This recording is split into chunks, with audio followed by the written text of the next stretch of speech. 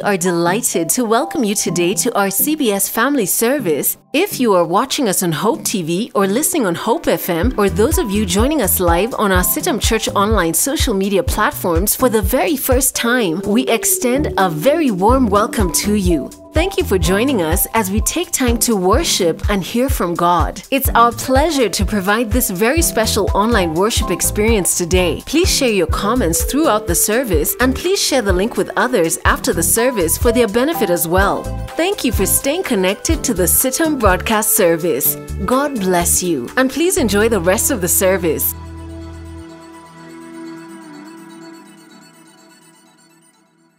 Good morning and thank you for making time to join us this morning for the CBS Family Service. I'll be your moderator for today. My name is Grace Mutiso and I'm joined this morning by an amazing worship team from CITAM Kikuyu. Won't you take some moment to invite this team and join us in praising and worshiping our God?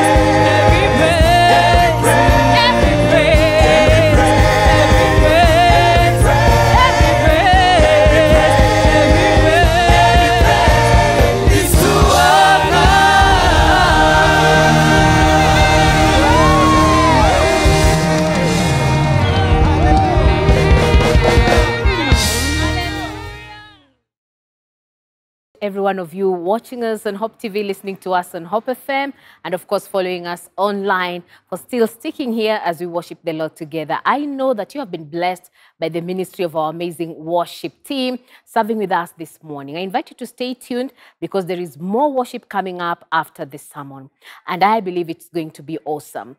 We are focusing today on the issue around false teachings and cult currently affecting our nation, Kenya. Once again, my name is Grace Mutiso, serving as your moderator.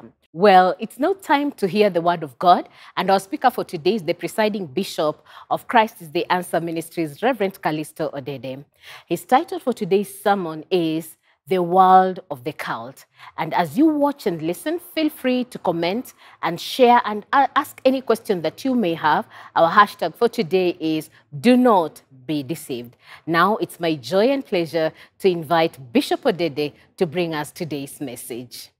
Good morning. Uh, it's uh, a great joy for us again to assemble before the holy presence of the Father as we reflect uh, on His Word. As a nation, uh, we are finding ourselves in that difficult situation where we are mourning the departure of uh, over 90 people who have uh, uh, died as a result of uh, allegedly influenced by a religious leader. And this makes us want to look at uh, uh, the impact and uh, uh, uh, what religion really means when it begins to mislead people into this kind of events. Uh, our condolences to the families of all those who have been bereaved, and we pray that God would bring comfort to your hearts.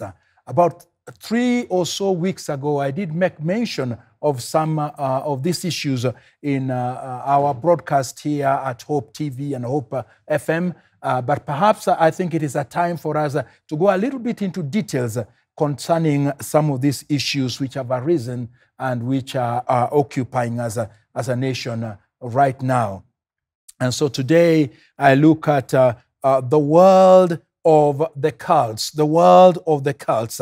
And uh, shopping in one of these modern day mega malls, one is left with a confusing experience, particularly if you went to shop for something simple as a, a toothpaste, Colgate you will find that uh, uh, there are seven different brands and varieties uh, of uh, toothpaste uh, that you are actually looking at rather than just toothpaste.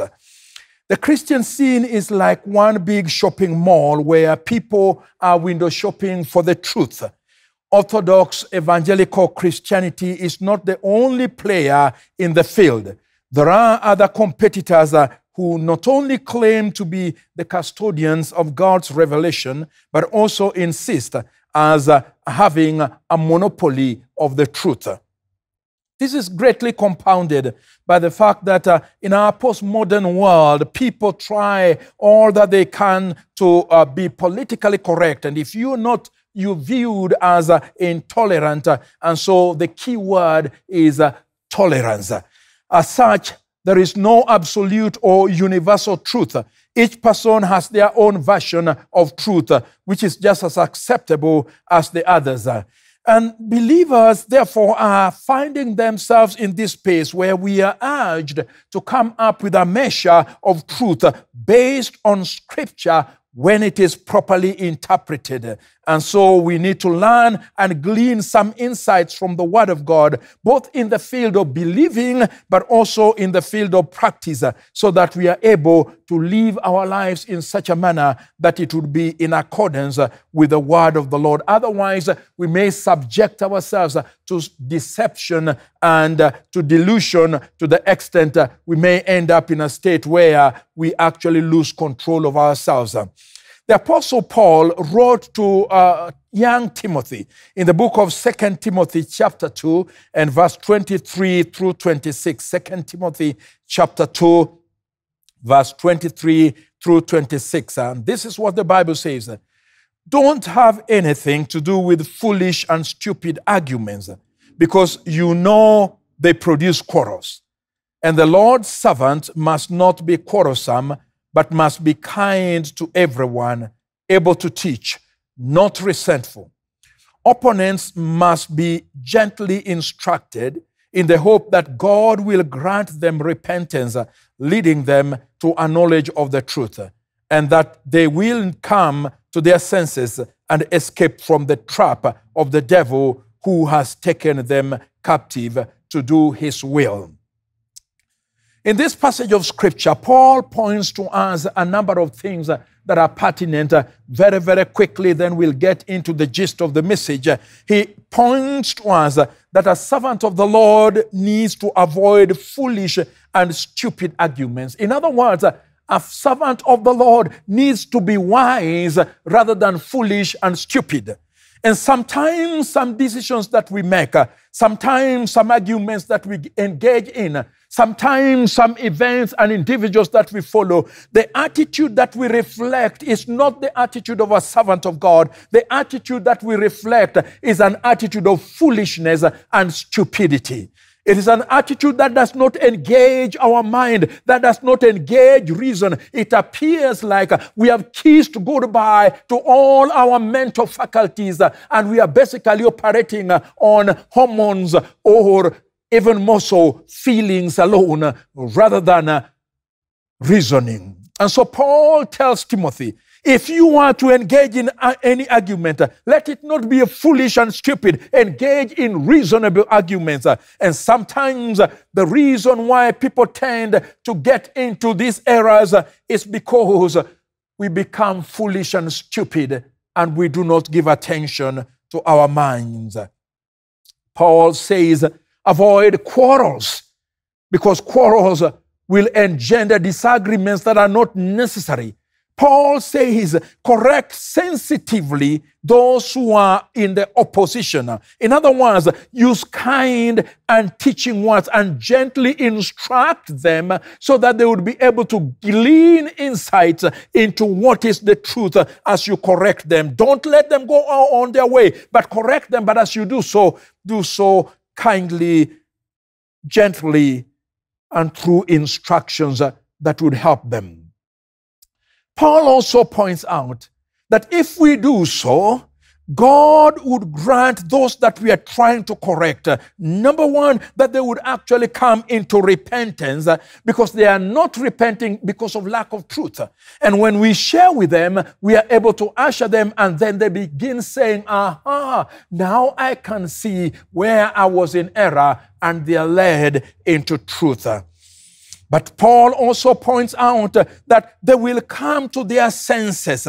Now, this is an extremely important phrase that Paul is using here. It simply means that some people who have swayed away from the truth have lost their senses, their faculties.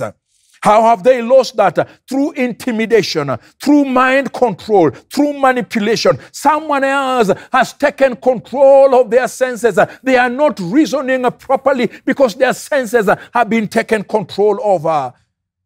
How else can we explain some of the calamities that have befallen us as a nation? How else can we explain a parent watching their baby die of hunger when they can actually do something about it. How else can we explain an individual refusing to eat to the extent they are getting into a, a, a, a, situation where they are dying because a religious leader has told them to do so. They have come to the point of losing their senses. Paul points out to us but he also points out to us another element.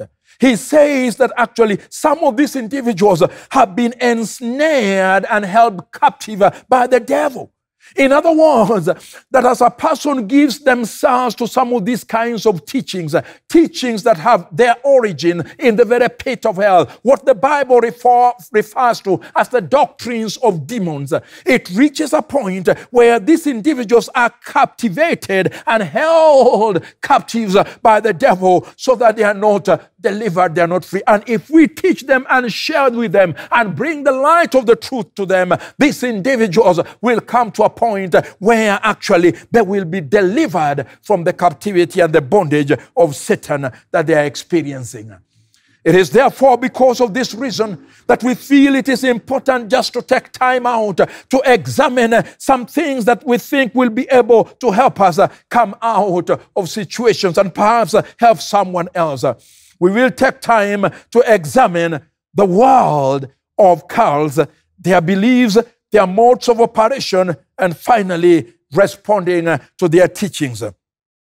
Our intention is to be able to reach out to those who are in these cultic moves. And this is not only the Kilifi incident here in Kenya but also other movements that are going on right across the world. Some that may not have turned out uh, in such uh, uh, traumatic events like the Kilifi incident, but nevertheless are also cultic groups that are dissuading, uh, dissuading people from holding on to the truth of the word of the Lord. Groups that are dehumanizing others, groups that are holding people captive, that we may be able to share with them.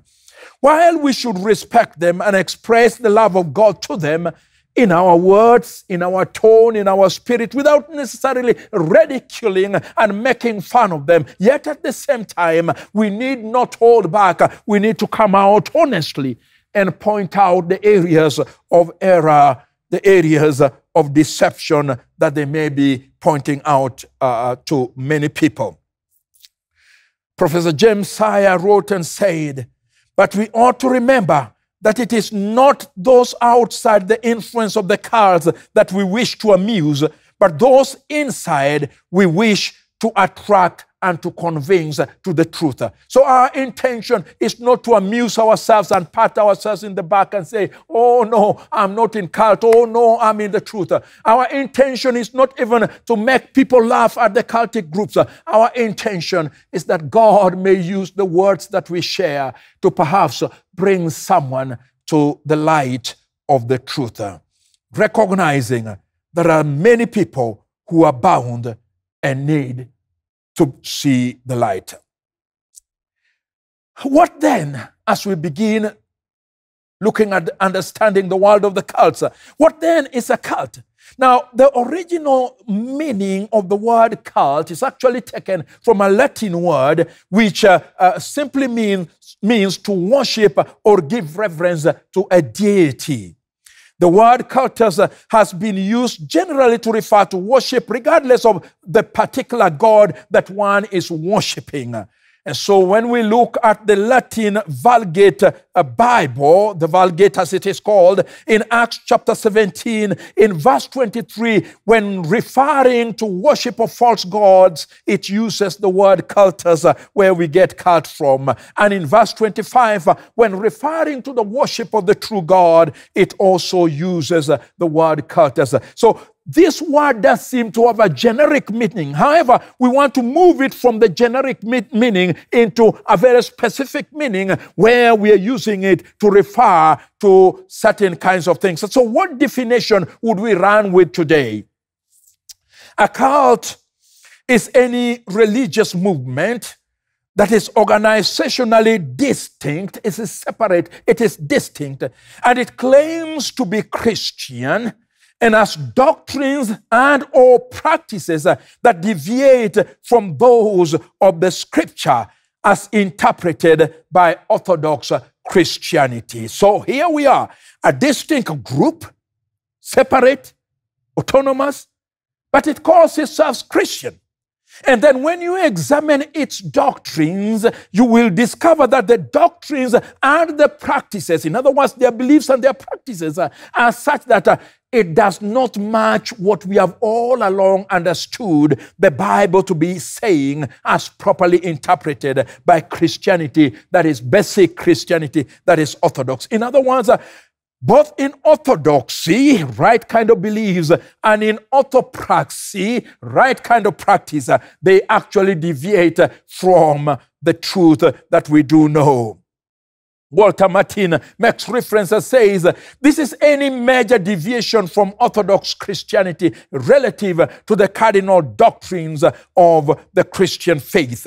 Charles Braden says a cult is any religious group which differs significantly in some or one or more respects as to believe or practice from those religious groups which are regarded as the normative expression of religion in our total culture. So there is something about beliefs and there is something about departure from the normative, departure from what we always have viewed as the right kind of believer.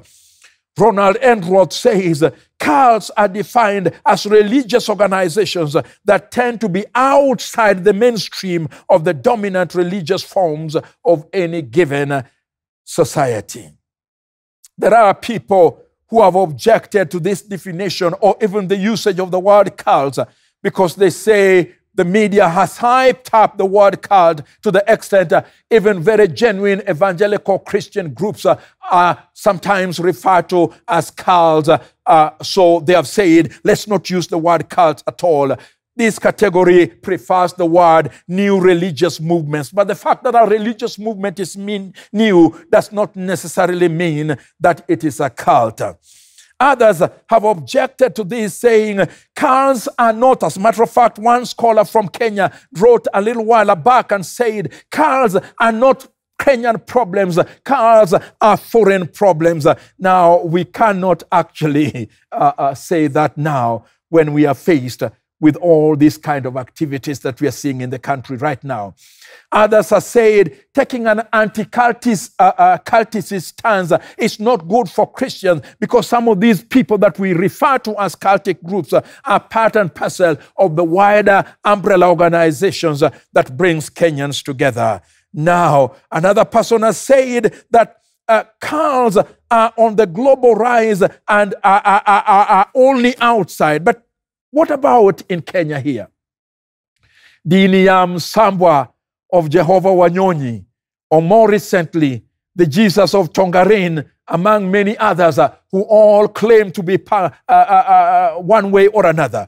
Someone has said cults are not as dangerous as we claim they are. Therefore, we need to let them be integrated into society. We cannot say that uh, after reading about Jim Jones of Guyana, where 900 people actually lost their life uh, as a result of taking Holy Communion laced with cyanide. We cannot say so when we think of uh, David, uh, David Koresh and the Davidic cult in USA, where they took arms and began fighting with the government. Uh, we cannot cannot say so when we think of uh, the movement uh, of restoration of the Ten Commandments in Kanungu in Uganda, where 700 people locked themselves up in a room in a church uh, and then set themselves on fire. We cannot say so. Cults can sometimes be extremely dangerous because of the way they influence people, the way they make people act. So we cannot actually say, let's leave them alone, let's integrate in them in the society because they are not as dangerous dangerous. They are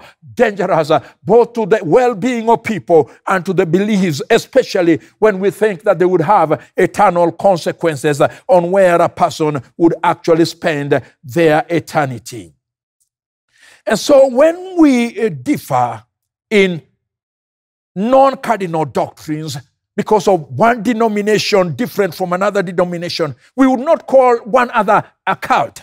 As a matter of fact, uh, then we would dialogue over our differences. Uh, And uh, those of us uh, would perhaps know those from uh, the charismatic Pentecostal circles uh, believe if you are to be baptized, you are to be baptized in lots of water. Those from the Anglican and other circles believe you can even be sprinkled with water. Now, those are areas where we dialogue with one another. We do not call one another a cult because of those. But when we differ in cardinal points and fundamental issues of the Christian faith, and also in life threatening and abusing practices, uh, we certainly and lovingly need to go on the warpath uh, to discipline, to warn, to correct, uh, and to show that we are intolerant of such teachings that are actually taking people away from the fundamental beliefs of Scripture. The other related terminology is false religion is basically a system of belief that opposes the central teachings of the Christian faith, whether it claims to be Christian or not Christian. Thus, a cult can also be part of false religion. The occult sometimes used the occult refers to secret mysterious practices that evokes dabbling with the supernatural including spiritism fortune telling magic astrology, witchcraft, devil worship, consulting the dead, direct dealings with demons, and other related practices. Anyone who is involved with this, including invoking your avatars, spirit guides within you to lead you, all those are touching in the area of the occult.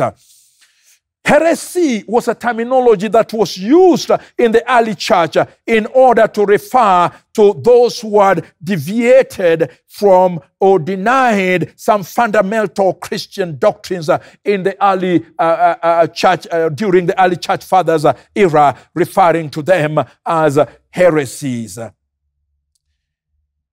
Other terms that are used new religion, alternative religion, uh, fringe uh, religions, uh, aberrational religions, uh, all these making reference to cults.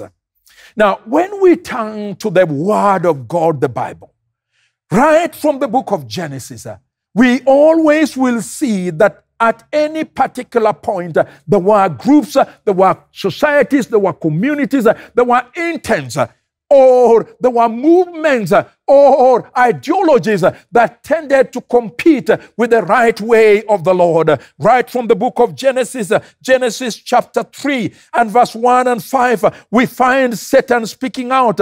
Indeed, has God said, You shall not eat from any tree of the garden? For God knows that in the day you eat in your uh, uh, you eat it, your eyes will be opened, and you will like uh, uh, you will be like God, knowing good and evil. In other words, Satan attempting to derail, uh, attempting to, to derail Eve in order to offer an alternative religion. We read in Genesis 11, verse 4, and they said, Come, let us build for ourselves a city and a tower whose top will reach into heaven. And let us make for ourselves a name, lest we be scattered abroad over the face of the whole earth. Archaeologists have proven that actually what was being referred to is the ziggurats. And the ziggurats were temples that were being built up to raise them up to such a level so that they would be used in order to offer alternative religion in the times of uh, uh, uh, the Old Testament period. And then we find Moses speaking with the children of Israel in Deuteronomy chapter 13 and verse 1 through 3. And Moses said, If a prophet or a dreamer of dreams arises among you and gives you a sign or a wonder, and the sign or the wonder comes true, concerning which he spoke to you, let us go after other gods whom you have not known, and let us serve them. You shall not listen to the words of that prophet or that dreamer or dreams, for the Lord your God is testing you. In other words, even if one comes out saying, Let us follow the Lord, and whatever he's saying becomes true. But he's saying, Let us follow another God rather than the living God. We will know they are false prophets. The New Testament also offers us many verses and passages that have to deal with the false worship, including the Lord Jesus Christ Himself. Matthew chapter 24, verse uh, 24. Jesus warned and said, For false Christ and false prophets will arise and will show great signs and wonders so as to mislead, if possible, even the elect. Paul, talking with the uh, elders of Ephesus in Acts chapter 20, verse 29 and 30, says, I know that after my departure, savage wolves will come in among you, not sparing the flock. And from among your own selves, men will arise, speaking perverse things to draw uh, away the disciples after them. John in the epistle of John spoke about this. Second Peter, Jude spoke about this. Paul, in a number of his writings, spoke about the Gnosticism, ceremonialism, Galatianism, antinomianism. All of these were groups that were trying to lead away Christians from the fundamental truth of the Word of the living God. So, ladies and gentlemen, cults are not new. Cults have been there in the Old Testament era. They have been there in the New Testament era. In the early church fathers, we have a number of them. We think of the Marcionites, we think of Montanism, we think of Docetism, we think of Sabellianism, we think of Arianism, some who stressed the humanity of Christ, some who denied the uh, pre existence of Christ, some who denied the divinity of Christ. All these were there even in the early church period when uh, the early church fathers were in existence. So cults have been there, and throughout the history of the church, they have been there, and even in our day they are there. That is why it is so important that we be equipped to be able to understand their world so that we can be able to mark them out. We do not become culprits in uh, being persuaded to follow after them. Allow me to mention some characteristics of cults that I think are pertinent and that would help us as we look out to identify them. First of all, some sociology, uh, sociological characteristics and tendencies. Number one, cults tend to have all powerful leader whom they believe to be a Messiah like figure. The leader or group is the absolute and final authority. The leader determines rules for daily living and determines the dogma and the doctrines that they preach. Secondly, rational thought is discouraged, forbidden, or even under suspicion. The leader redefines terms. The member is not to question his new knowledge, and doubt is often equated with guilt. Thirdly, the cult often uses deceptive recruit techniques the potential or new recruiter is not told as fast as what they are getting in. What they are presented to is a glossy kind of picture of world transformation or a new world, but they are not told the real truth of what actually they are getting into. Most cult members would probably not join if they knew ahead of time all that it would entail. The cult leaves the follower forth uh, with the impression that their problems can only be solved within this group. Uh, all help from a previous support system is actually discouraged and forbidden. Sometimes uh, even links with parents and is cut off. The cult manipulates guilt. Members are often forced to confess their inadequacies, and these are used to manipulate them so that they remain within the circles. Cult members may be isolated from the outside world and from their family. They cannot use their phone. They cannot access the internet. They cannot relate with their family. They abandon their family. They cut off all contacts. They may be cut off from any past acquaintances uh, as well and from any input uh, from the media. They may be told that the outside world is evil and doomed. Salvation comes only by remaining within the group and giving up everything. Seventh, the cult may make basic career and life decisions for the followers, including issues like uh, sex, diet, use of medicine, and even whether or not to have children. Career sometimes is abandoned. Schools are abandoned because the cult now becomes the member's lives and defines the direction for the member. Cults use idealism sometimes to attract members. However, uh, efforts are soon channeled into making the member become so ingrained that sometimes it is only the leader who benefits, uh, although the member is encouraged to work sometimes. Cults can be anti woman. They force women to dress funnily or strangely. They are anti family. They oppress women. They regulate birth control, sometimes even childbirth. There are some cults that even encourage abortion. Cults members believe that the world is coming to an end because they've been presented by a doomsday kind of program where they need to do all that they can. They often adopt a new name, new vocabularies, new clothing, new manner of dressing because the world is coming to an end. And as such, some cults members espouse death and become very, very emboldened to death because they know this is the closer way of getting to God. Cults are often having an air of mystery where members are even encouraged to uh, uh, uh, uh lie to outsiders while insiders they know the truth. And cults can sometimes turn violent, absolutely violent, especially when they feel threatened. These are some sociological tendency and characteristic. When you see some of these things in any group, please flee for your life. Run, flee for your life. There are some theological tendencies as well, errors in theology. How do they treat their leader? Do they give him a kind of an elevated personality where he acts almost like a deputy God, where their leader is revered and honored? Do they stress uh, on extra biblical sources? They use the Bible, but they propagate a new revelation. They use the Bible, but they also have the teachings of their leaders, the prophecies of their leaders, the dreams of their leaders, the vision of their leader as what is being taken. They use the Bible, but they have a kind of a visionary interpretation of the Bible. What other source do they use? Another book. A book that is not the Bible at all. They are involved in scripture twisting. They pick up a scripture and they twist it so that it says completely a different thing.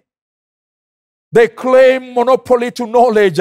It is only in them where there is truth. Sometimes they use relics, emblems, and symbols they have a lot of evangelistic zeal in trying to influence others who are outside. And more often than not, they fish from the pond rather than fishing from the lake. They go mainly to those who are already Christians.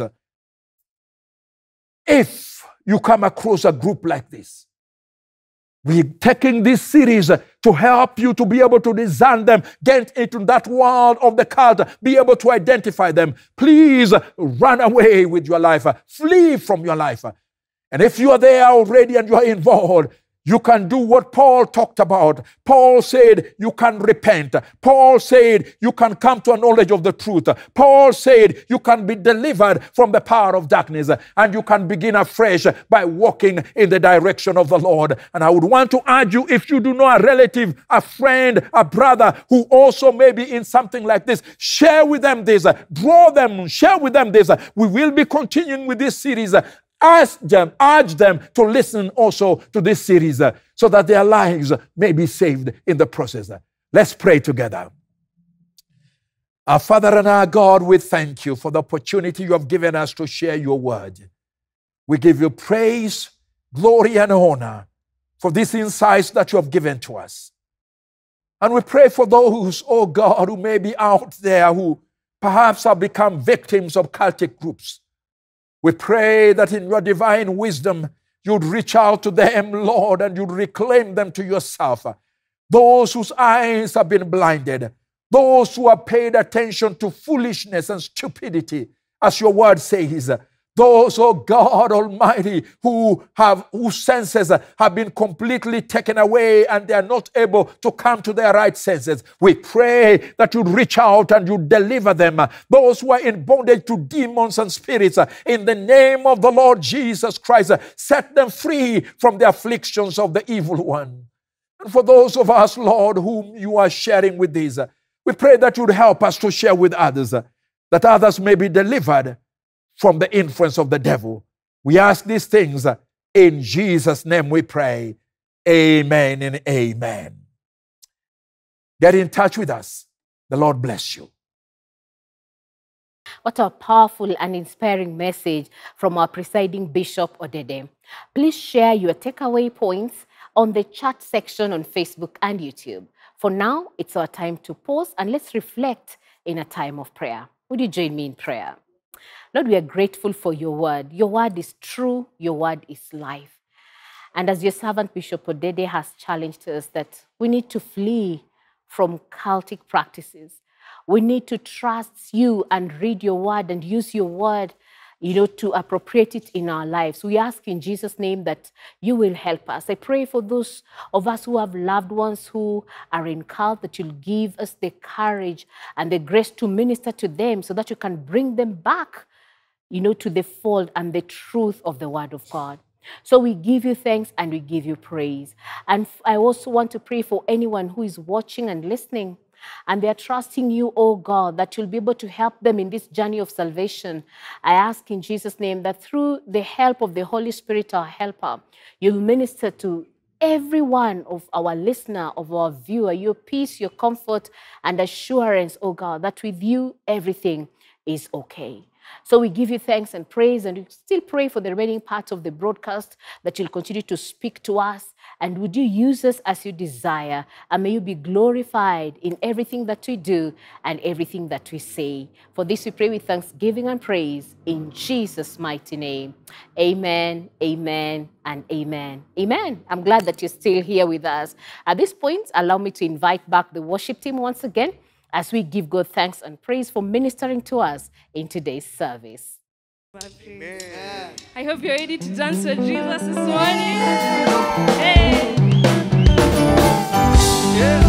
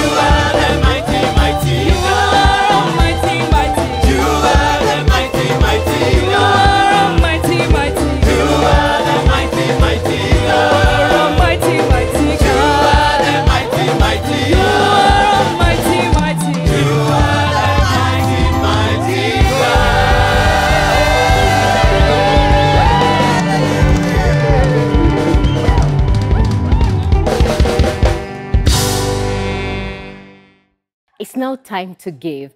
And I'd love us to make a quick prayer. And after that, we'll be airing a clip for you to watch and listen to get directions on how to give. We are grateful, to our Father, for giving us so much. And as we come back to your presence to give you of what you've given us, we pray that you'll be able to bless it, oh God. I also want to pray for those who do not have. We trust you as they work with their hands. You'll provide for them and they'll be able to give next time. We give you thanks. In Jesus' name we pray.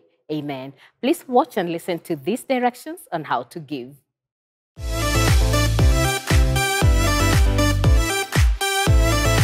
It is now time to express our worship to God through giving. Thank you for your continued support of God's work here at CITAM.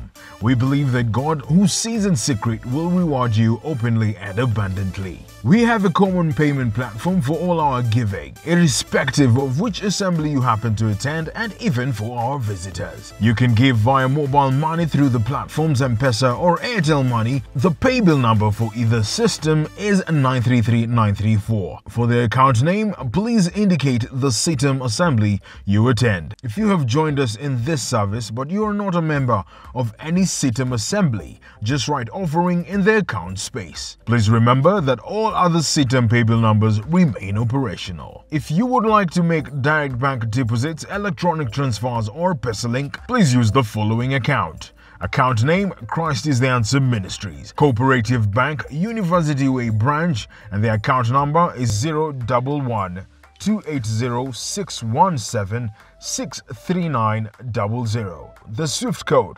KCOOKENA. If you prefer to give through our website, kindly visit www.citam.org. Click on the Give tab and follow the instruction for online giving. Once again, we want to appreciate every one of you for every gift, every tithe, every offering, and every generous material support. God bless you.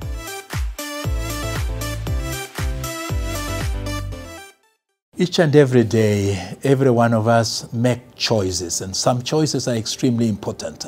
But the greatest choice that we ever make is the choice that pertains to life. And that's why at FDC this year, we are inviting you to be with us as we examine the topic uh, choices. Hello, Kenya. Hi, Kenya. Finally, we're coming to Kenya. Yes. And we're coming to Christ is the Answer Ministries, CITA. and we'll be there for the Family Discipleship Conference 2023, holding on the 3rd to the 6th of May. May. And the theme is the choice. I'll be speaking about raising families in the 21st century.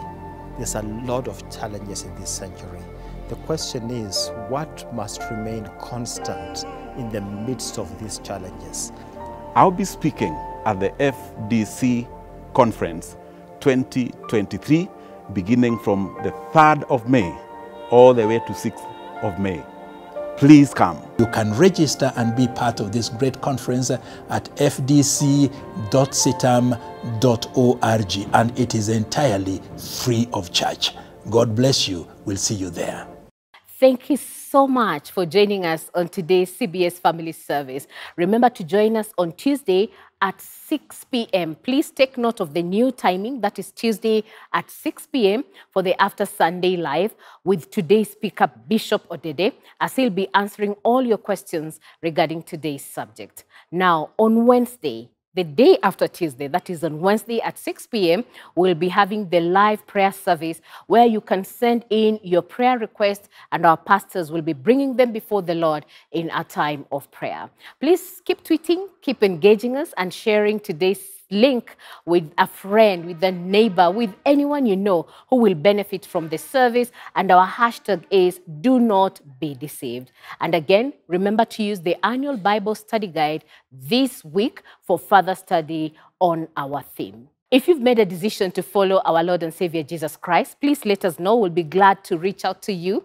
Our WhatsApp number is 0728 221 221. Again, 0728 221 221. The numbers are right at the bottom of your screen. And for all of you listening to us, the number again 0728 221 221. We'll make sure we follow up with you during this week. Thank you so much for tuning in. My name is Grace Mutiso. I've been your moderator for today. And allow us to end today's service by just making a benediction. And let's say it together. May the grace of our Lord and Savior Jesus Christ and the love of God and the fellowship of the Holy Spirit be with us now and forevermore. Amen. Thank you so much. Shalom and God bless. See you next time.